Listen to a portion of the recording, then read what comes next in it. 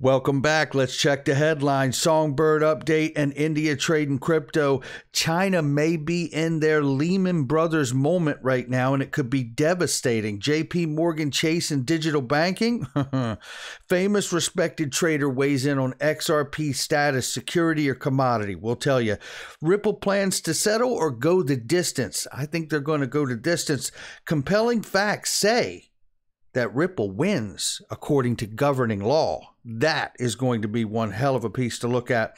And what are the alternatives are losing? And I can tell you they are severe. How about XRP price? What in the world is going on? Well, roll that beautiful intro and we'll find out. This is Digital Perspectives with Brad Kimes. Subscribe for new content notifications. Now, here's Brad Kimes. Come on in. Welcome back to the show, everybody. You can follow me on Twitter at Backup Bradley Above and everything that we're talking about here today. Let's take a look at the market because we're at 94 cents. Woo! Currently falling like a manhole cover from the sky. The whole market is just uh where we're at this morning. 1.96 or uh, yeah, 1.959 actually for the crypto market cap and we are under 2 trillion dollars for the first time in weeks. And looking here, we're off by 8.30%. Ouch. Bitcoin at 44,000 plus, Ethereum at 3,100 plus, Cardano at $2.11. XRP is at 93 cents and bleeding heavily, and most of that is in the last 24 hours with 12.73% drop in the last 24. Let's take a look at the range right now because we're ranging between a dollar seven eight six on the upper end of the price range and 94.31 on the lower range for that is exactly where we are. So we are currently in a downfall because we current price is at the bottom range. So listen, we will hear from three different analysts here and we have talked about this that we could go as low as in the 76, 85 to 76 cent range and all the upper upper price targets are still on point. They're referring this as a uh, C correction wave. So we're going to take a look at this and hear from them rather than me. You'll like it better. I do. I do. Let's get into the news from JC Collins this morning. Shout out to you, my friend. Awesome. Things will move fast now. This is a reminder, which I covered over the weekend, but in case you didn't see it, Songbird trading on Bitrue starts September 27th. Now, that is getting exciting, getting very exciting. Looking right here, Michael, Indian crypto investors have turned to peer to peer platforms and groups on Telegram and WhatsApp to facilitate trades. But look at the percentages here. These platforms reportedly account for 60 to 80% of all transactions. Oh my lands. Now listen, I put this in here for two reasons. One, India has been like a bad tennis match watching them get straight with crypto. But now look what's going on. It is a boom in buying, and they're all deferring to peer to peer platforms like Telegram and WhatsApp to do so. Now, this is important because I think this really is like one, I mean, glaring example of why central banks need a central bank digital currency because you can't track all of this as much as you feel like you want to. But what you can do is have a digital currency that is tied to the, the local dollar, the fiat dollar, the government dollar. And at some point, one of these people is going to want to take this transaction and turn it into cash. And when they do, that's where you catch them with the on and off ramp. And I believe that's the ultimate end goal. Now, this is a reminder from Hall of Famer Michael here, who tells us about Evergrande's debt crisis is wreaking havoc on Hong Kong's stock market. Listen, this is being referred to as the Lehman Brother moment in China. And just to give you an idea, this conglomerate has lost 84% off its stock price so far this year. That is a devastating blow to their economy. You have to wonder how much further is it going to affect their economy? And is this spillover because it's such a huge conglomerate like Lehman Brothers was as well? Are we going to see this spill over into other areas of their economy and it continue to downtrend? Then you have to start wondering, well, how about globally? How does this affect outside of their you know, eh, uh, eh, regional economy. So we'll keep an eye on that as well. But not good, ladies and gentlemen. You have to wonder when do we get our turn here in the States? We've heard many, many economists call for a 30, 40%, or even more in a correction in the conventional stock market here. So we'll keep an eye on it. So looking here, America's largest bank, JP Morgan Chase, is all set to put a step in the UK's emerging digital banking. As reported Financial Times, JP Morgan is looking to launch a digital only bank in the UK. Does anybody remember when Jamie Dimon was telling people, I will fire anyone working for me that is buying, selling, trading crypto? I'll fire them, right? That's what they call talking their book because the truth is, behind the scenes, JP Morgan was going out and buying as much Bitcoin as they wanted. And they knew when they talked about it and talked down about it on mainstream media that it would drive the price down. And that's not illegal. That's what they've been doing for decades upon decades. Now, this is Peter Brandt, who over the weekend apologized to XRP investors and holders because he said he had it wrong. He was a dinosaur in a new emerging market, I believe it was. But now he's saying that uh, he spent more four decades navigating commodity markets and he still holds the view that XRP is an unregistered security. Well, that's where we start. But let me tell you, this is where we go next. Because I swung by the Fed over the weekend. Yeah, I was out there in Denver. Shout out to Spencer H. and Mrs. H. and the whole H family. And I was only there for the day, so I couldn't get in a visit with you guys. It was just an in and out trip because I had to swing by there and clear some things up for the Fed about XRP, the standard.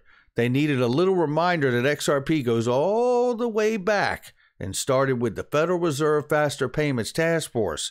And it's at this point, if you didn't know that and you're new to the space, it's a nice little reminder for you to go check that information out. And it's a nice little reminder for Peter Brandt, too because you could also go look up FinCEN and their 2015 decision where they call it a virtual currency.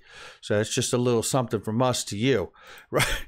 And there's even more to come because Ripple says they have no plans to settle, baby, with the SEC over XRP, confident that Gensler will drop the lawsuit. Check this out.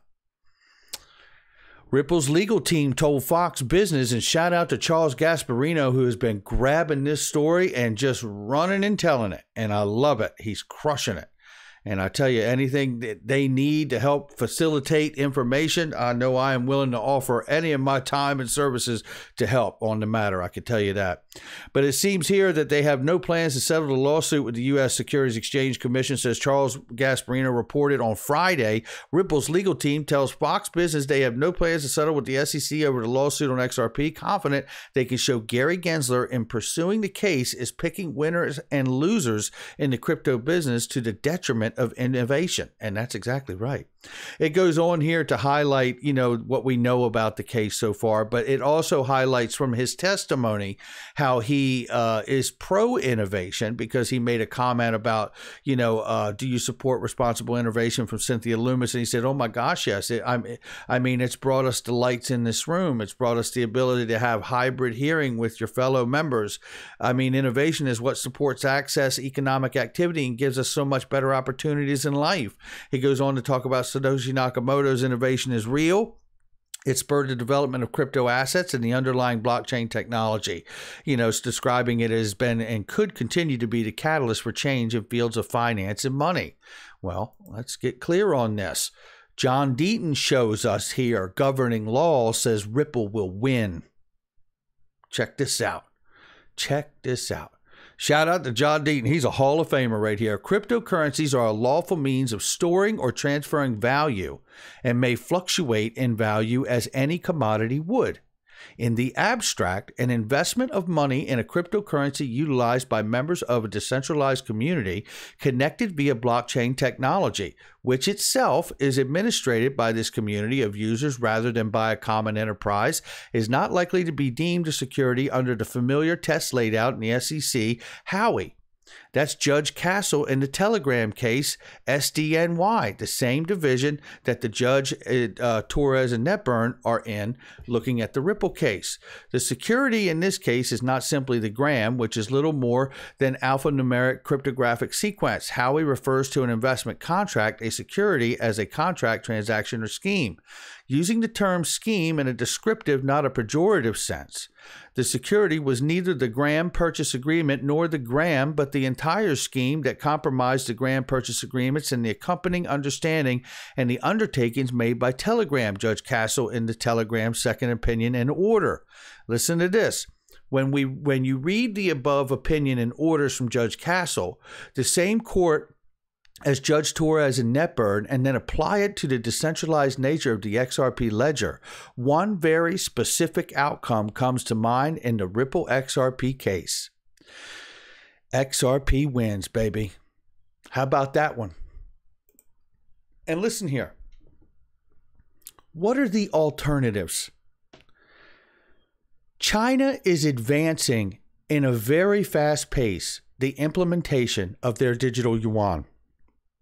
They are now set to become a part of China's digital currency with these different four cities that they're citing here.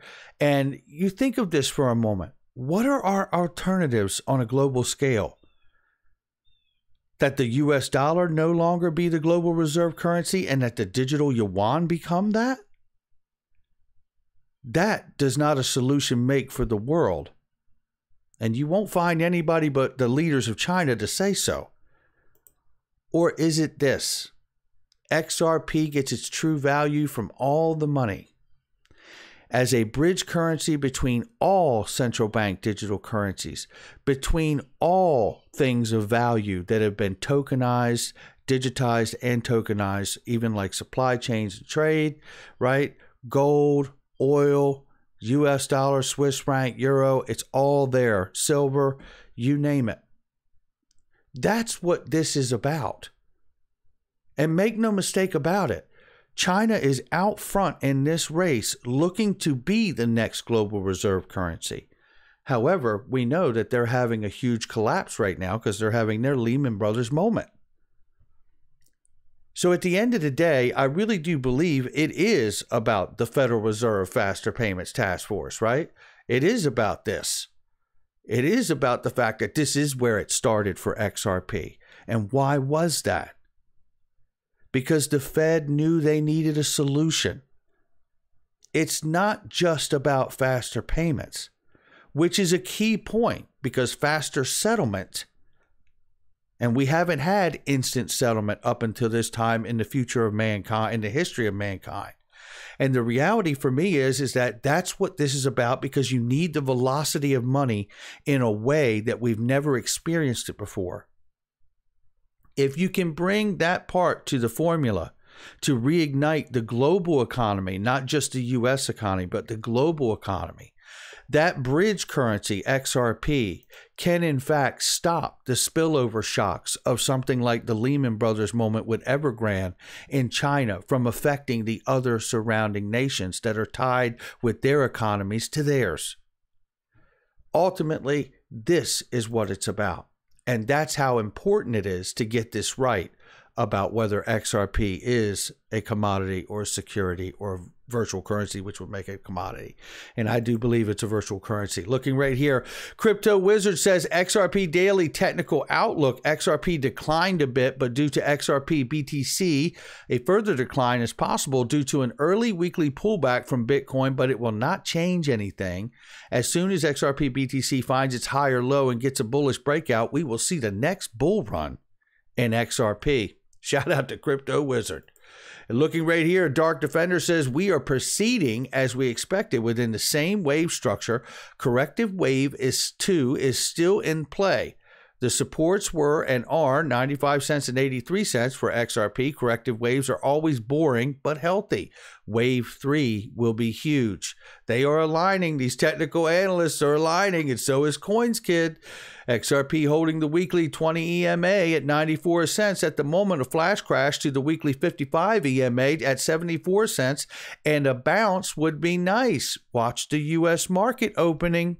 Dump before the pump. Red, green, red, ABC wave 2, they're all pointing to the same scenario. And that doesn't mean that it will guarantee to happen. But I tell you, and it's not financial advice from me or them or anyone else but it gives me confidence that I know that we're still in a channel with the fluctuation of price and these pullbacks and what they see as wave two, uh, as as a very healthy pullback. And as as as we've heard Coin Kids say many times on this channel when we cover him, the deeper the pullback, the bigger the boom. So that's what we're waiting for, and that's going to do it for me. Make sure you hit the like and subscribe, leave a comment below. It's good to be back home. I can tell you that. And I love it. We're going to be on top of it today. Watch out for the second video. It's going to be something. And we will catch all of you on the next one.